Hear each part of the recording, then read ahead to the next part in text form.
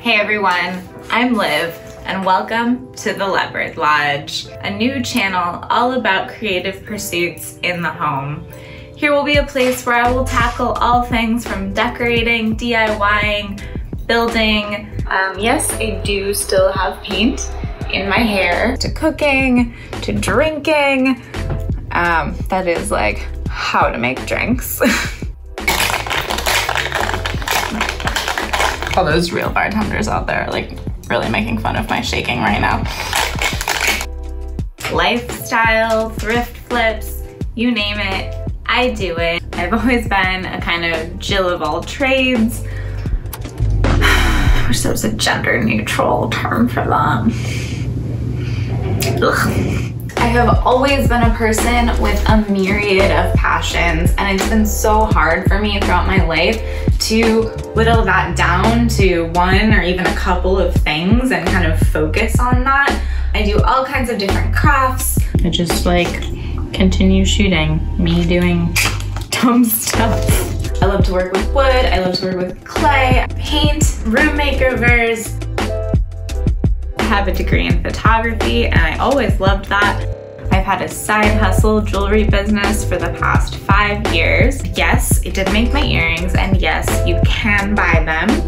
Click the link in my description. I worked in the fashion world, learned how to sew from a young age, making clothes, and of course, wearing leopard print.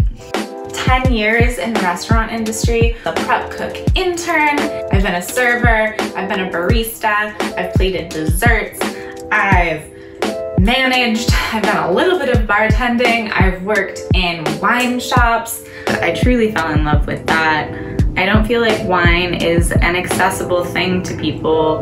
This came in at around $22 from the shop that I work at, but you could easily find something in the $15 range. Definitely monetarily and also knowledge what knowledge wise that's I think this is also a great learning opportunity that you can drink white wine with tomato sauce which I feel like a lot of people don't think about doing very often even though I'm not a professional chef I have a lot of knowledge and passion from my time in the industry and I think that there's a lot of fear around cooking, around being perfect at something. So much of cooking is about sourcing good products, shopping seasonally, just kind of understanding what flavors go nicely with other flavors. It's a lot of trial and error. I love to go to the farmer's market and before I even buy anything just to see, you know, what produce is looking good, what's new in season, what's kind of going out of season, buying some things, coming home, making a plan, and making a beautiful, comfortable meal. And it's not, it's not so scary. You can make stuff and you can make it taste good and you can make it look beautiful. I'll be the first to admit that I love to live in luxury. And the truth of the matter is, I don't have any money. I'm not a rich person. I like to find solutions to make things beautiful without having a lot of money. When we first moved in, Tom built this shelf out of pallets and I added this area for our cast iron. It houses our dry goods like flours and also my pasta making tools. I think that you can really see that in my design and how I've decorated my home. I'm not always gonna buy new wood. Sometimes I'm gonna take things apart and rebuild them. Sometimes I'll find furniture on the street. I'm really dedicated to living sustainably and not just buying a bunch of new stuff. So this isn't gonna be a place where you're gonna see me shopping on Amazon all the time, shopping at Target all the time, shopping at Ikea all the time. I'm not, I'm not perfect. I do go to those places, but I actually try really, really hard not to shop on Amazon. I try really hard to thrift or find as much stuff as I can that isn't new.